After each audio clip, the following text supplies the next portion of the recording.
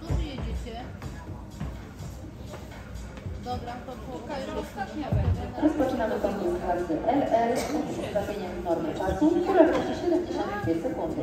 Jako pierwsza wystartuje Katarzyna Goluszewska i Figaro.